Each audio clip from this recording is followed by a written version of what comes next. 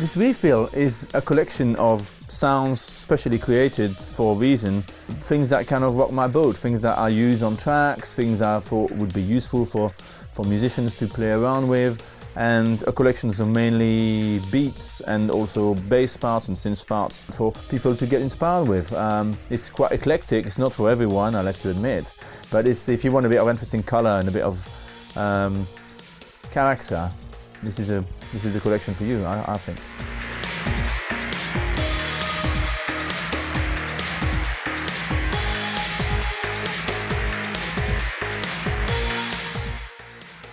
I'm Pascal Gabriel. I'm a producer uh, and a songwriter. I've worked with people like uh, Kylie, Dido, S Express, Bomb the Bass, more recently Ladyhawke and uh, Miss Kittin. Um, I'm introducing you to my refill library and it's very eclectic, just like my taste. When I start a new project, I usually start with a loop or a beat or a bass line or a riff. Um, in the Rex files, in the tuners Rex files, um, there's loads of those that are kind of two bars, four bars, six bars long, eight bars long. Uh, little sections for you to, to kind of get inspired and build up on. And once I've got that kind of vibe going for eight bars or so, uh, then I flesh it out and move it on and just take it down for the bridge and so on. Um, and that's my kind of work, you know, my, my work progression, if you like. On my computer, I have a folder full of little two bars and four bar sections of IDs and little snippets. I've included them in the refill, so if you're looking for a bit of fun and inspiration, that's probably the first place to go. The patches for this refill come from variety of sources. Quite a lot of patches come from my Moog Voyager, which I've designed specially for the, for the refill, from the ARP Odyssey, from the Korg Mono/Poly, from the Pro 1, from the 106, Juno 106, which is an old workhorse, but which is still, well, you, you can see it's uh, very well worn. um, some from the Prophet VS, some from the Roland MKS-80, uh, some from my VL Tone. it comes from everything. It comes even from the uh, the mini synthesizer, the Electro Harmonix mini synthesizer, which is really super ultra rare, and I'd love to buy another one. So if any of you out there have one, I'll I'll buy it off you. In the refill, in the synth category, you have basses, which are all mixed up. You've got uh, combis, you've got sample basses, and you've got Thor basses and a few Malström basses. For instance, Bell bass here is a sample, it's an, an NN-XT sample, which is actually coming from the Prophet VS over here. Nice little sound, it's got a nice little bell resonance to it. The next section is a section called chops. Um, chops are kind of uh, kind of rhythmical parts that you play either chordal or monophonically. You've got a scream organ kind of chop.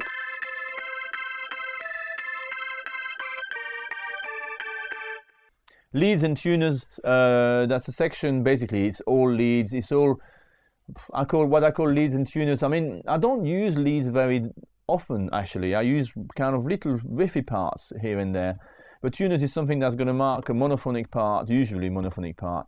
That's going to be a kind of riff or a, a lead, I guess. Uh, I, I see lead as much more, usually more aggressive than tuners, but they're vaguely about the same. If one of my favorite one is this one, is Lindstrom lead. Kind of 70s sort of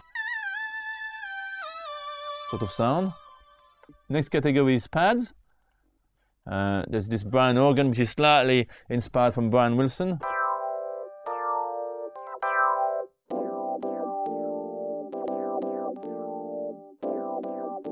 It's a nice little sound. This sound is, uh, this combi is called Ladyhawke Pad, and it's a combination of different Ladyhawke sounds I used on uh, track on her album. At the back of the track called Morning Dreams, it's uh, used with a choir. The drum loops were made from my sound, my own personal sound library uh, of different beats and and different snare hits and beat hits that I compiled and basically reprogrammed and rearranged to make it uh, to make it your own. Art of Drums kit is a little bit inspired by the Art of Noise and early 80s Fairlight sounds, so it's 8-bit and a bit crushed and a bit crunched and a bit lo-fi.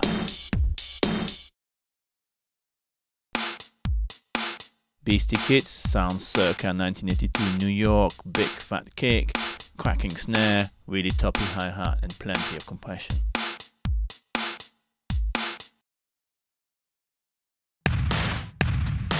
The Bonamy kit is my take on French contemporary music like Justice and Kavinsky and that sort of stuff. Really compressed, really squashed, really destroyed. The refill content is really designed for people who want a bit of inspiration in their songwriting, you know, in their in their creative life, and that's it really. Uh, it's, it's, it's, very hard for me to explain it in any other way. In that, you know, if you want, if you're a bit stuck for an idea and you think, oh, what should I do today? You know, I've really, you know, inspiration is gone and mojo isn't here. Oh, I know, melophobia, that's what I'll use. That, and that should get you going, I hope. that would be the best thing for me.